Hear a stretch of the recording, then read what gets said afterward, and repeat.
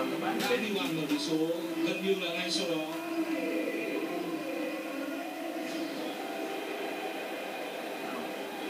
Chúng ta cùng xem lại tình huống phối hợp tấn công và dẫn tới bàn thắng của các cầu thủ Real